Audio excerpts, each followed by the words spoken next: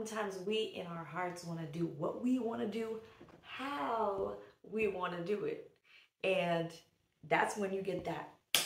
So you're faced with a decision, a situation, a challenge, an obstacle.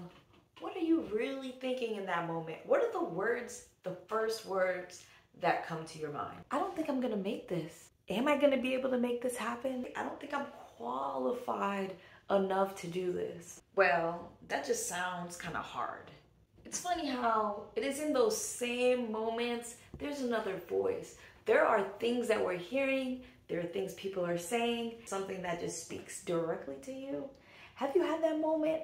Those moments where I didn't even say this to anybody, but yet it feels like they're talking to me.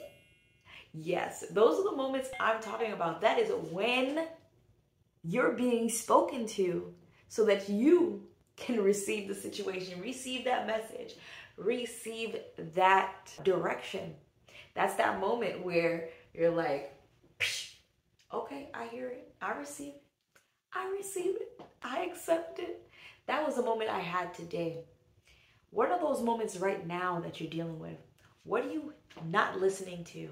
What direction are you being given and you're not heeding? Did you experience something recently where you were given direction, you heard a voice within your brother, your sister, your cousin, your mama, your auntie, your somebody came around and made a statement that you were like, hmm, I'm gonna have to think about that.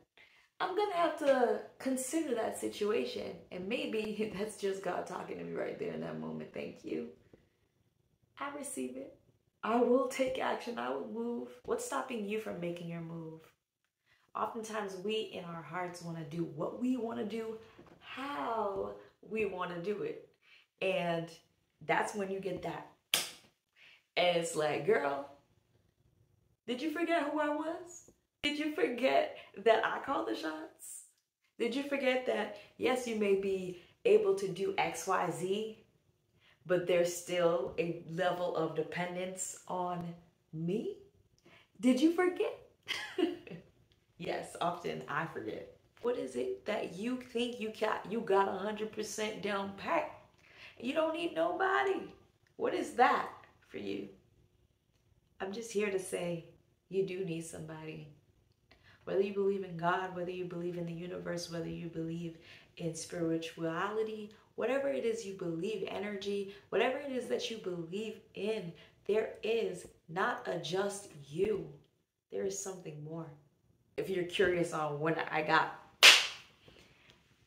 for my experience, I put my information in the description box below and you can hear all about my wake up moment.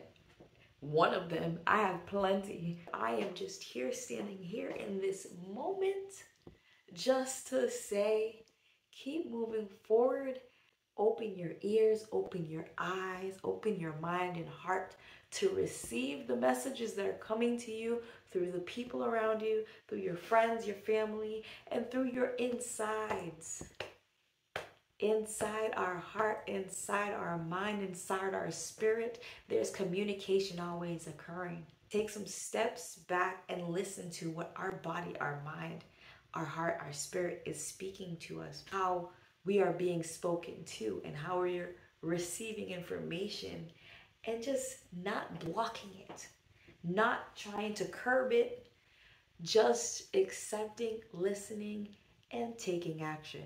There's movement, there's change, there is possibility. There is possibility when it comes to taking that step. Action is everything. You can hear and receive, yes. But without the action, girl, where is you going?